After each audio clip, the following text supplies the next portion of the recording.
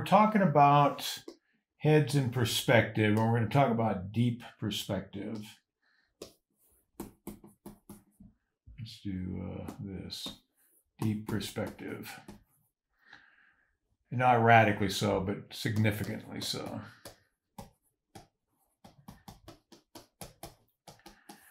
Now, when we start talking about deeper and deeper perspective, a the oldest and simplest form of, of designing structure, because we can stack things and we can stack things two dimensionally or three dimensionally, right? But even more simply and more effectively, we can overlap them, eclipse them like a moon over the sun or whatever.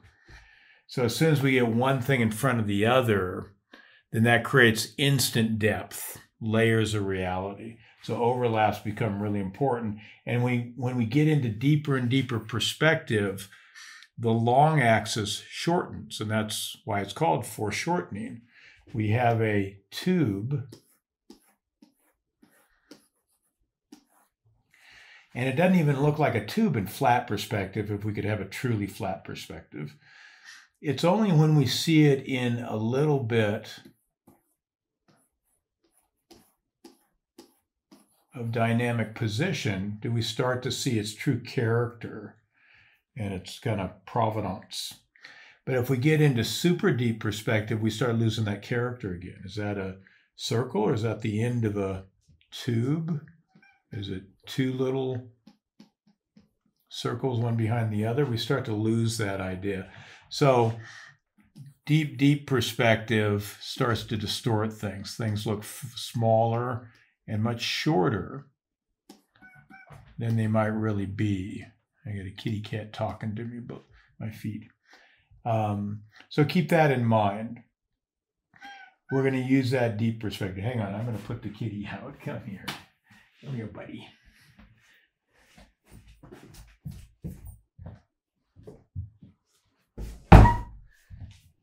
I'm babysitting him because his uh, his mommy's out of town.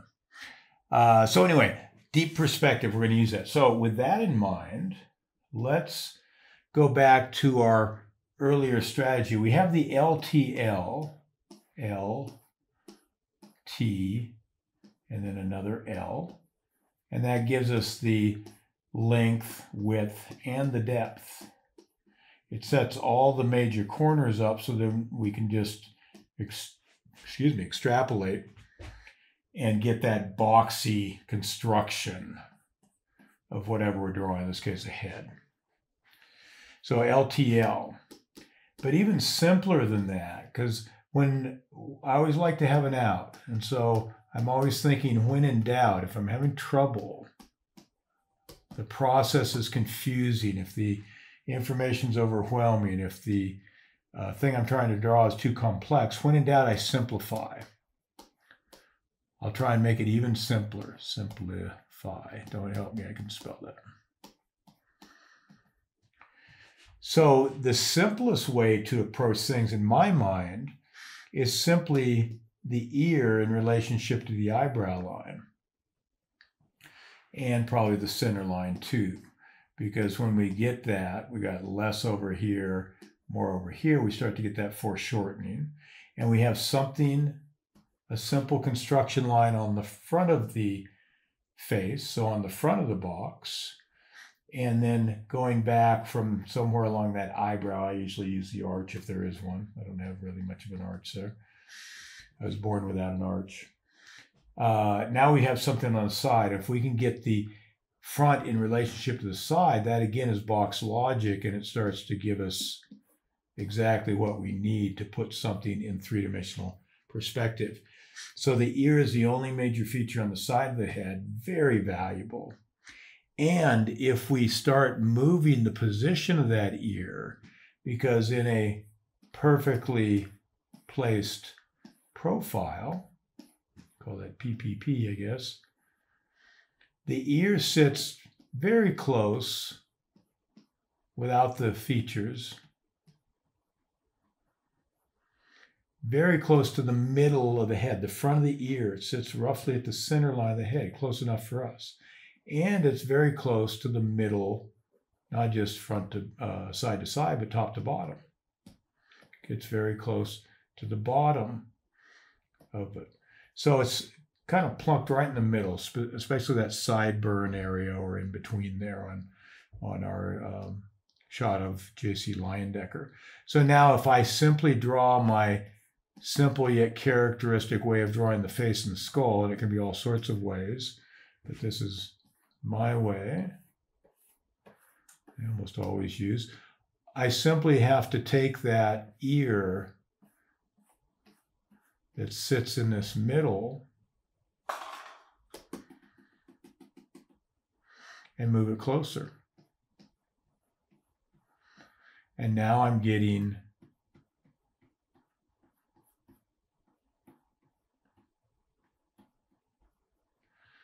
getting the idea that we're behind the head. I can't see the T here. I only see part of the L. But even then, when I've lost the LTL, just the placement of the ear sets it really nicely in space by moving it closer or farther away from the front of the face of the back of the head, side to side. But also we can do it top to bottom. Let's see here. So let's do it again.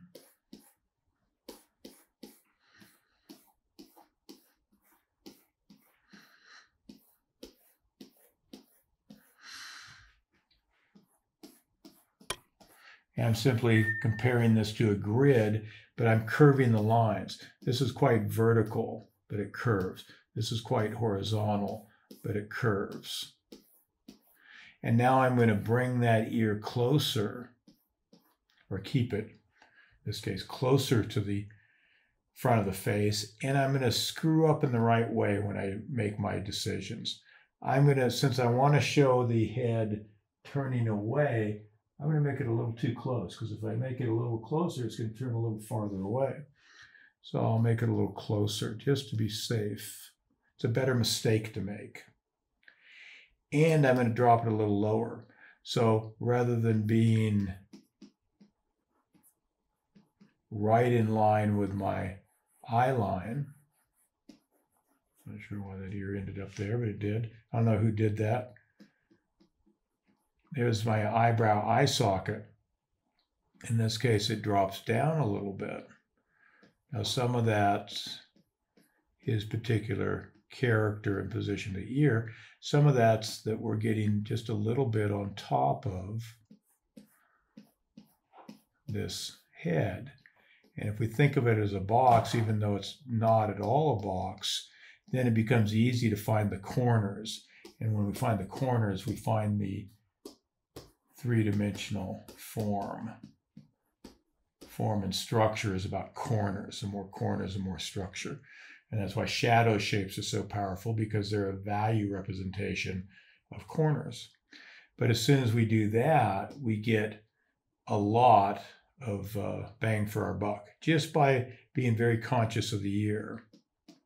And as we then add our simple yet characteristic and our ever smaller and ever more characteristic details, then we can build this out in a wonderfully precise way if we were going to take the time to be precise and a uh, very efficient way, quite quick. And notice now we're using our old friend. We're not using the LTL, it's not there, but we're using just half an L, just uh, uh, eyebrow to ear relationship. Gets closer to the eyebrow, gets lower than the eyebrow. Just by doing that, we've gotten a ton of value, ton of info. And we're using our, what, our friend that we just mentioned a few minutes ago, overlaps.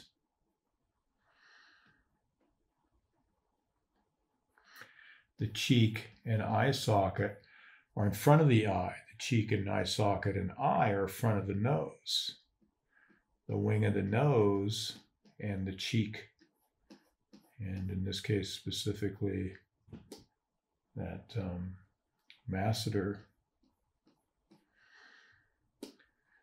muscle allows us to chew, to masticate, masseter. And now the lower lip is overlapped a little bit by the upper lip, the jowl area is overlapping the chin and digastric plane and neck are overlapped by the collar, the collar by the, the schmock, the smock, and so on. See how efficient and how wonderful those overlapping ideas are? We get very quickly to what we're after. we get those big, simple ideas and we do it as simple as possible. And when it starts to get too complicated, we make it simpler yet. so, the ear is a powerful tool. And if we look at that in all sorts of different positions, see here if I can make that a little bigger. And it's a, a bit of a drag that there's a hat, but it's also an opportunity to to see that we're a little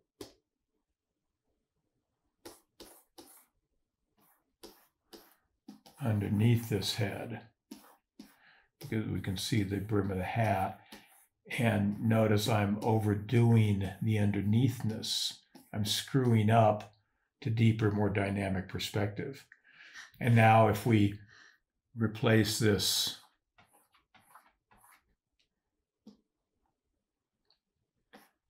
tube line with a more curved idea,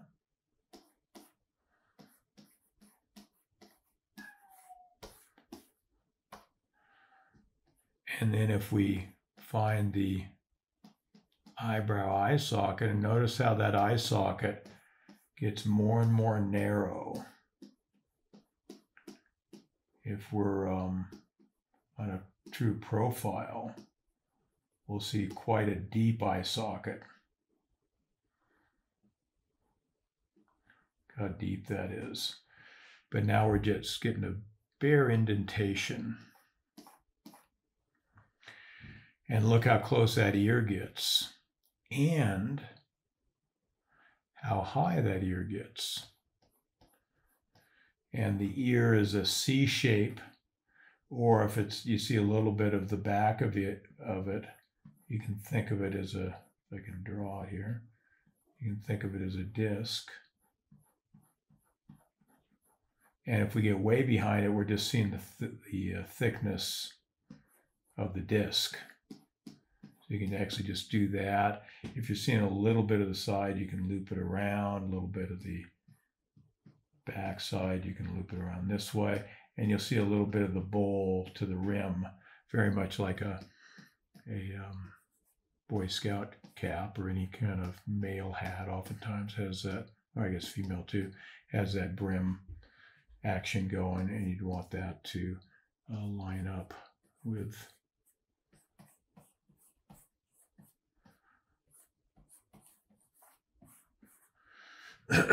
with the skull and forehead and such. And we'll, we'll keep it up high just so we can see a little bit more. So just by getting that much closer, and you can see how simple the design is. This is Leyendecker. Really simple, stylized. But just by placing that ear closer, and higher, we now know we're underneath.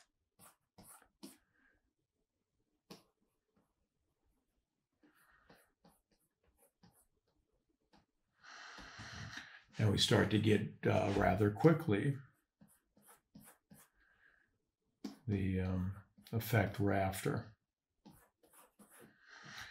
Okay, so pay attention to that. Start looking at ears. Now, if we get way, just checking time, we're doing pretty good. if we get way underneath, let me see uh, if we have many people coming in. We got started late, that we had a little bit of a glitch. Um, whoops, that's not what I wanted. That's what I wanted. Yeah, a bunch of you are in. Good. Glad you made it. Sorry, we had a little little uh, kerfuffle trying to get things up and going early enough to let you in. So we probably were missing a few. So I apologize to them. Um, so if we now look at a view where we're straight on, we touched on this a little bit last week, and we're not going to touch on it fully this week either, but I'm going to give a few, a few basic points around it. When we're straight on and underneath, now we're seeing all face and no skull. We're going to spend time with whatever time we have left today. We might, uh, it'll spill over into tomorrow, uh, next time. But uh, we're going to look at the top view where the skull overwhelms the face. So it's a lot of skull, you can't see much of the face. When we're straight on and or straight on and underneath, we're seeing very little of the skull and all face. And that's what we have here with this Dean Cornwell. We have this lovely, just bullet shape for this man's head, this priest who's hanging out, a little board, it looks like.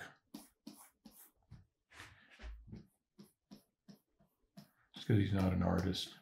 Wouldn't be bored if that was a sketchbook in his lap. And what we'll notice is two things that we'll just, I'll just call out. We get to see the T now.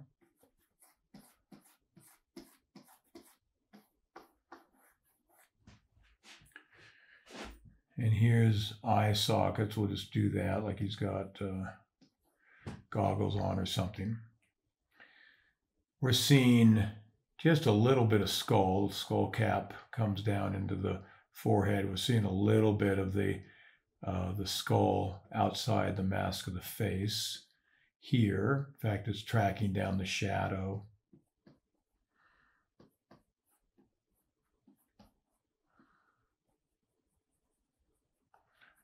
Down here, this is kind of skull, this is kind of face, kind of bit. and well, there's two things we're going to see here. I'm just going to do this. Draw that little chin there.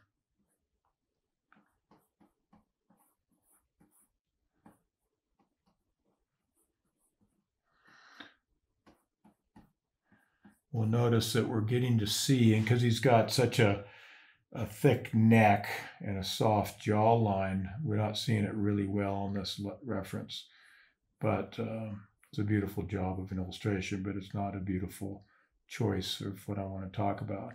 So I'm going to change it a little bit.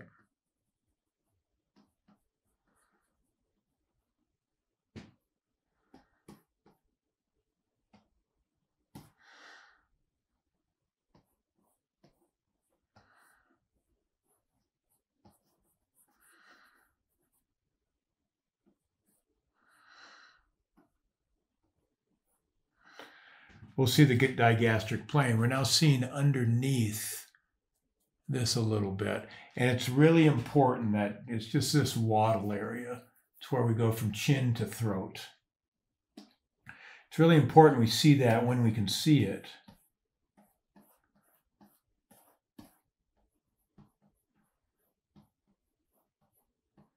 Because it keeps the face, just like the eye socket helps quite a bit,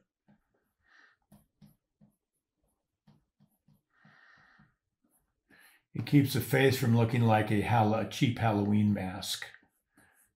There's a little bit of that LTL as it goes down to the far eye socket that we can't quite see, but we can see a little bit of the eyebrow, let's say. And as soon as we get a little bit of that digastric plane,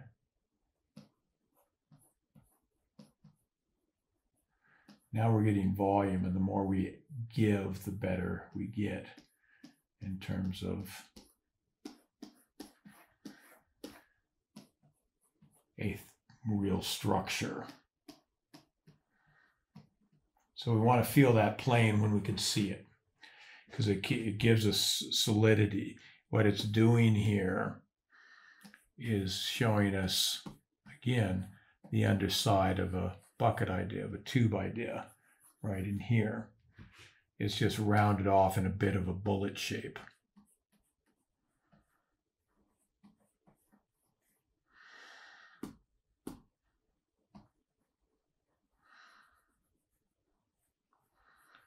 Just a bullet form of that same bucket idea.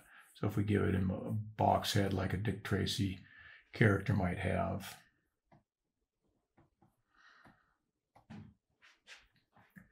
We're going to be in pretty good shape. Same here. And we can see that bucket analogy here too. Like so. It's just that the bottom of the bucket is a beveled underside. It's sliced at a bevel right there, right there, like so. Okay. The other thing we'll see is the ears in relationship to the eyebrow or eyebrow line. And you could do the eye line if you wanted. I like the eyebrow line, is very low. And so when we look right across, we'll see the ears, the top of the ears are down by the lower lids. And it's really easy to miss that. Putting those ears low, if we're looking at our figure this way,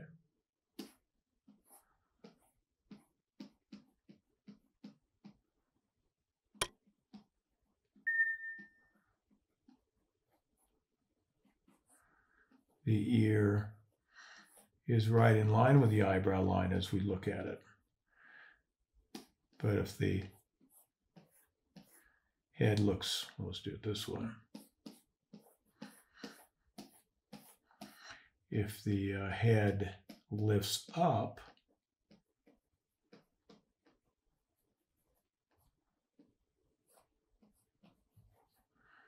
then the ear is going to seem low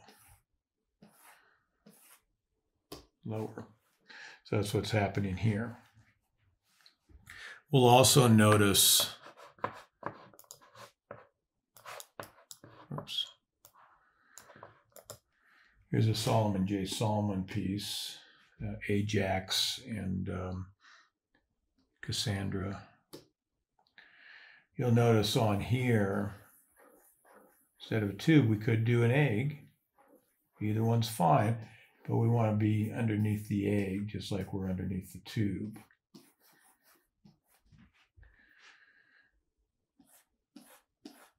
And there's that T again.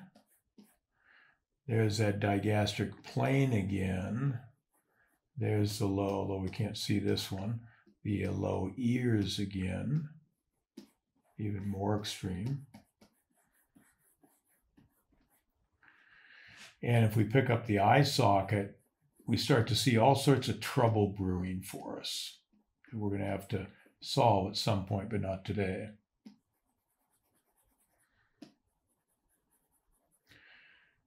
And if we don't really pay attention to it, and oftentimes if we're not told about it, we'll assume.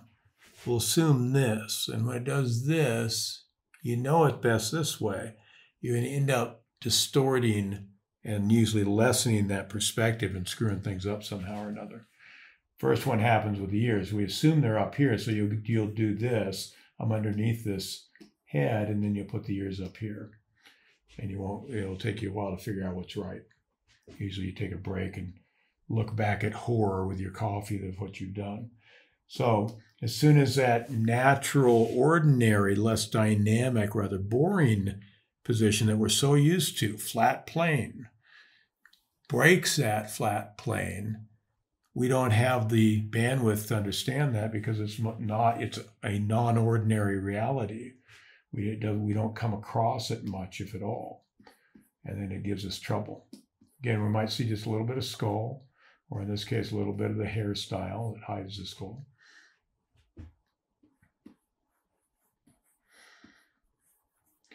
And notice how close the nose are, uh, nose, the nose are, the nose is to the um, eye line. Here's the eyes with the lids in there. Just that, do that with the uh, heroic, although he's doing anything but being heroic here as he steals his forewoman away. Her temple in this case.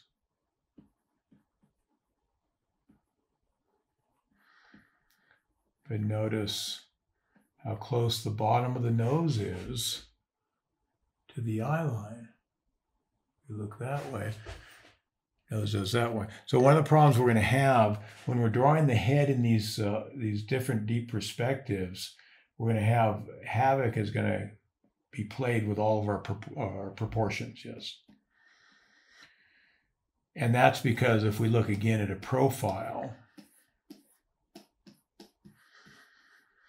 here right in the middle, audience taking a look, we'll see the forehead. So uh, do it here.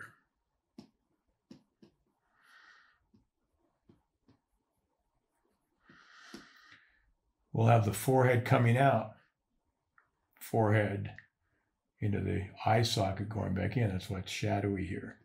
Nose coming out, going back in, upper lip coming out, going back in, lower lip coming out, going back in, chin coming out, going down and back in,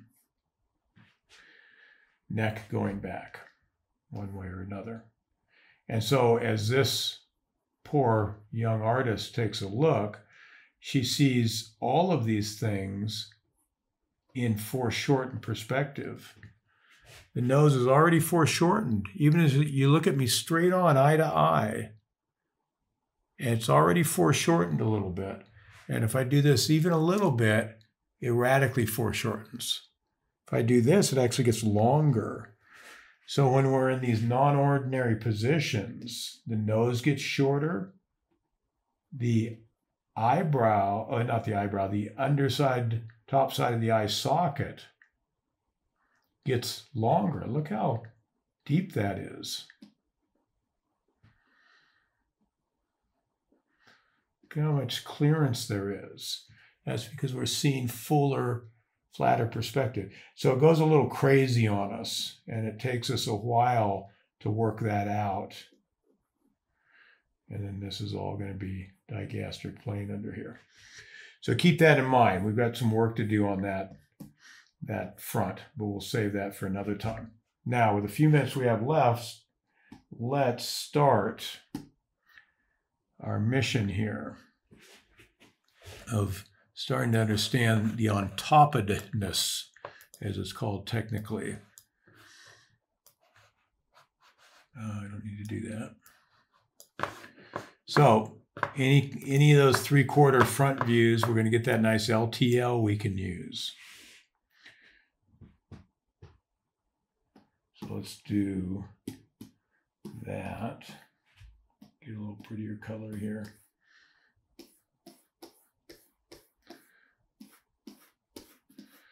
There's the L.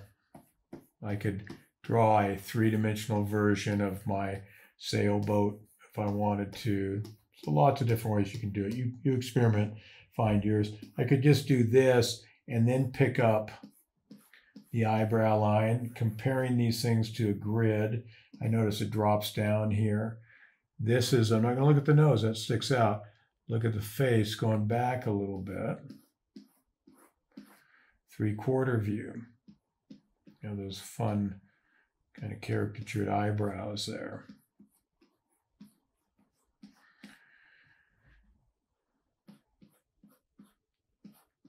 Notice I've changed this now five times, just taking my time, being patient to see how far it goes in. So let's just do a little bit of the eye socket, kind of the shaded part of that.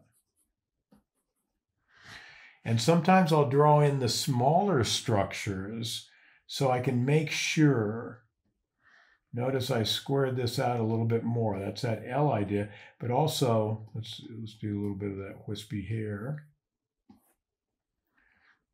I look more and more like this old guy every time I draw him as I think about it. Uh, but I can now break this into smaller pieces to check my proportions. Here's the uh, nose down here.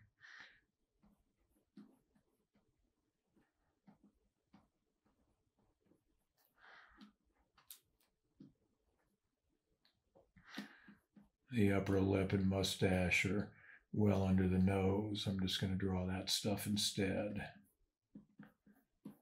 And we'll just do that.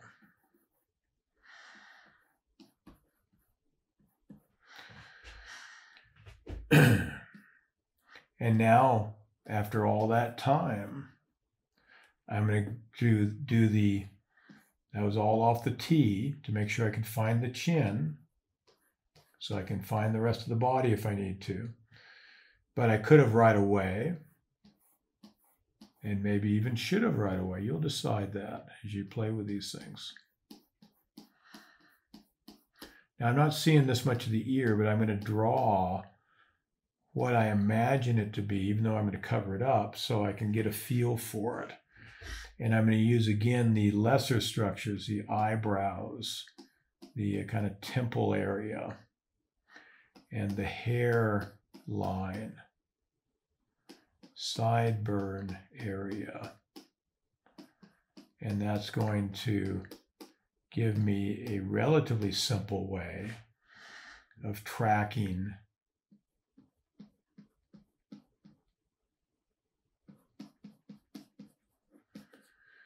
where that ear is. And quite often when I add some of that, that uh, lesser stuff, I'll find I screwed it up.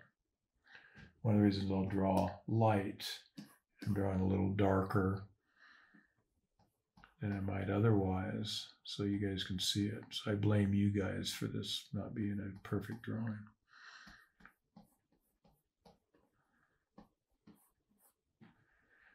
So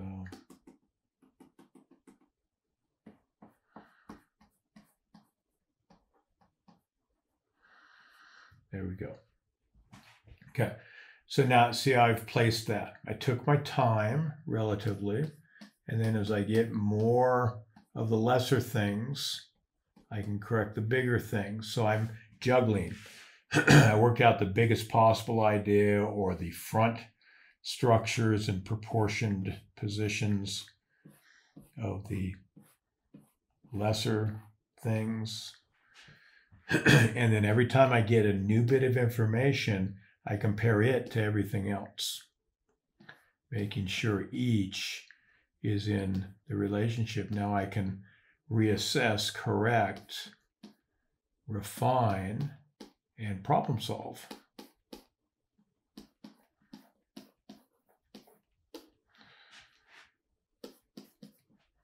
And work that out.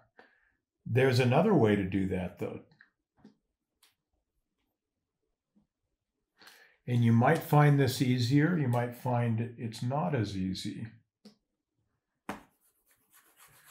So play with it. and I'll bounce back and forth with it, just depending. But when I get a uh, position, profile, back three quarter, back view, front view, doesn't matter too much, but where the head is tipped down substantially, and you'll decide what substantially is, then instead of going to all this, I'll go to the overlap. Excuse me. Let me do this real quick.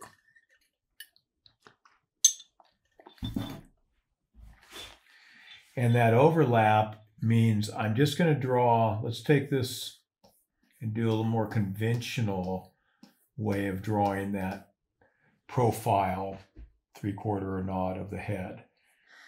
Most people would do this. It draws some kind of egg. Loomis actually draws a perfect circle, which I never quite understood. It works for him. It doesn't seem to work for other people too well because it drops that skull too low and gives you a lollipop look, unless it's a heroic figure with a nice, thick, masculine neck, which is what he always draws, or a beautiful woman with a bobbed or long flowing hairstyle to cover that neck. But the back of the skull, this is the nuchal point where the base of the skull has a little ducktail to it, and that's where the attaching erector muscles of the neck under the trapezius hold that head upright. What you'll find on most people where the skull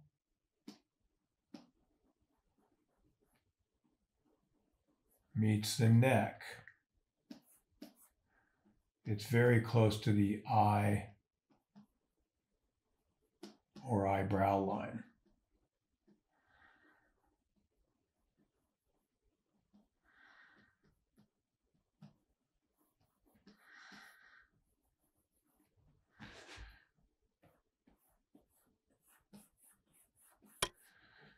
Somewhere in there where Loomis puts it, it puts it way down at the nose sometimes.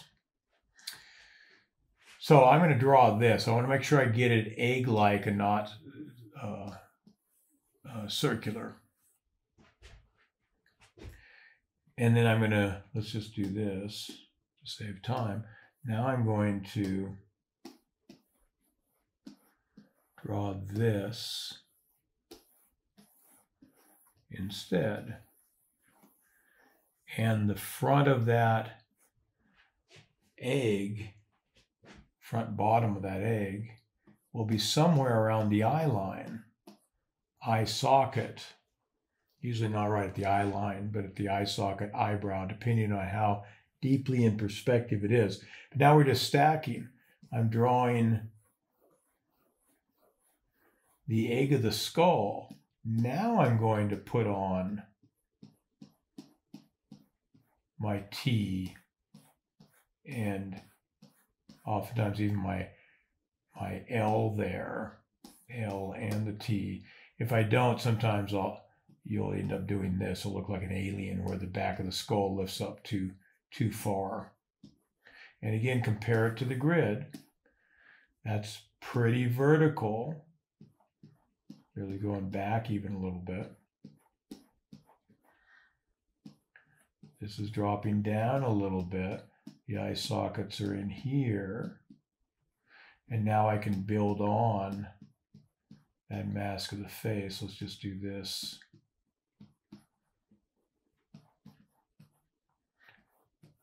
And you'll notice that the ear oftentimes, not always, but oftentimes sits around the bottom of that egg. Notice when we're at a profile, it doesn't. But as we get on top, then whatever you draw that egg, oftentimes tracks the eyebrow line or the eye line pretty well, the egg pretty well. Now it's tempting to do this then with your eyebrow line, but uh, you'll we need kind of a flattening of the face. If you look at it in deep perspective, you'll notice it falls back somewhat, but there's still a strong corner here. This dives back quickly. If we round that off, we're rounding off that corner and it distorts. And we can see that corner, it's a slightly rounded box. See that corner on uh, Ajax, our, our not very heroic friend here. A little bit of curvature, curvature to that T, but there's a deep sense of the sides at the corners of the eye socket, shooting strongly back. And then the only danger here is if you don't get that nice strong T and make it a T, it can be a slightly curved T, but make it a T and not like that around the ball. Make it slightly boxy, in other words. Notice that if I focus on the curve too much,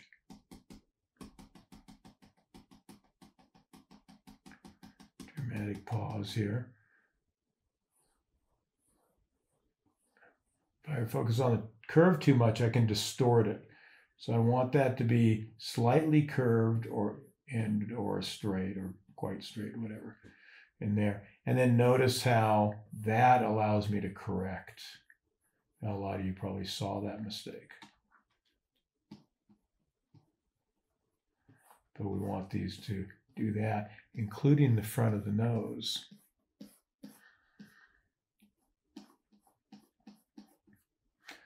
So it allows us to make those corrections.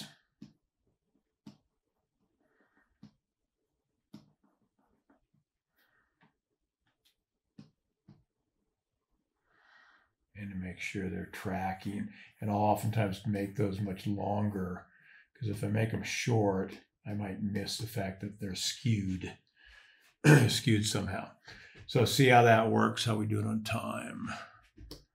Let's get you out of here.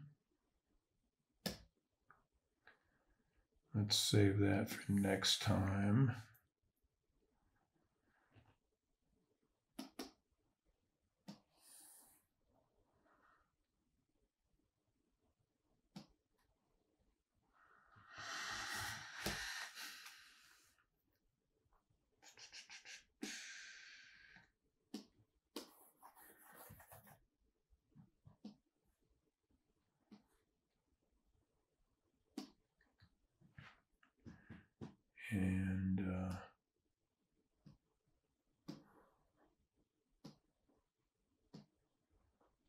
Do that so we get a little more space. So if we look at this gentleman here, and what's great is when they've got a nice hairstyle and these slickly parted, you know, kind of 30s, 1880s to 30s folk, a nice part, that gives us that T, uh, that L, that first L down here.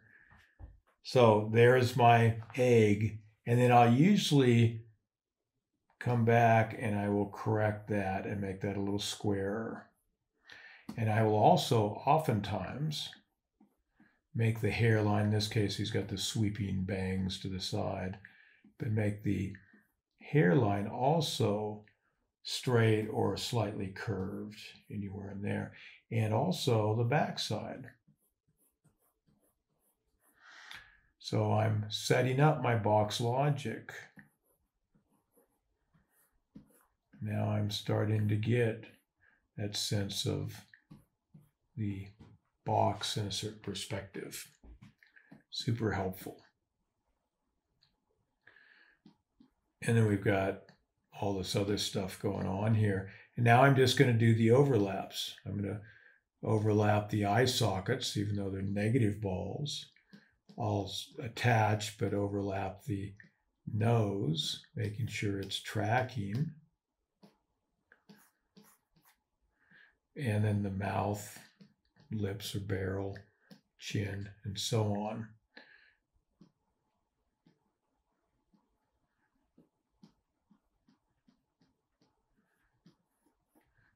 you can also just take once you're feeling pretty good about the proportions. You can just take the whole face mask. There's that ear I make a habit of drawing that ear and give the thickness I'm on top of it slightly in front of it. So I'm going to see that rim of the ear be on top, the thickness on top and slightly in front, although it poops out there and fades into the cheek and the sideburn area. And then I can track these things. Come back to the chin, the nose, make sure they're tracking in position and proportion, and so on.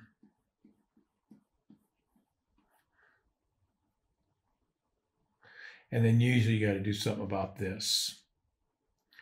Because oftentimes this ends up here a little high, even high by my standards, certainly high by Loomis's standards.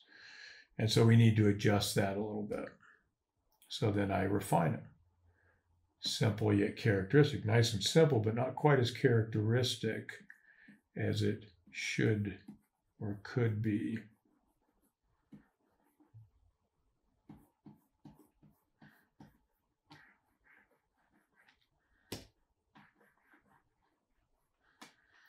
And I make those corrections.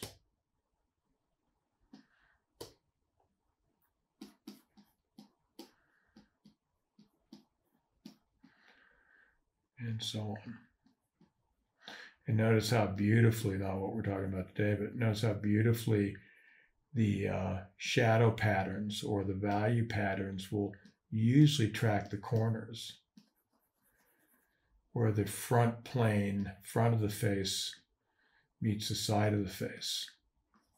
Front of the face is in shadow, or the top of the cheekbone. A little bit, where the top of the cheekbone meets the side of the cheekbone. Shadow, where the front of the cheekbone slowly drops off into the front of the mouth area, shadow, and so on. And so as we track this carefully, we can then correct it proportionately, position, we can play with the character, and we've got a roadmap now with a little bit of practice, really more than a little bit of practice, but we have a roadmap for our tonal map. What's shadow, what's light, what's uh, dark light, what's light shadow, and working those things out. So it becomes a, a wonderful tool to get it right uh, and pretty quickly, relatively quickly. Okay, I hope that uh, makes sense and helps. So, so we'll uh, we'll play with this next time as well. This is was Leyendecker, by the way, early Leyendecker. Um, play with this this time, uh, next time as well, and see if we can't take it even farther to understand it even better and to have a ton of fun, hopefully, even more often.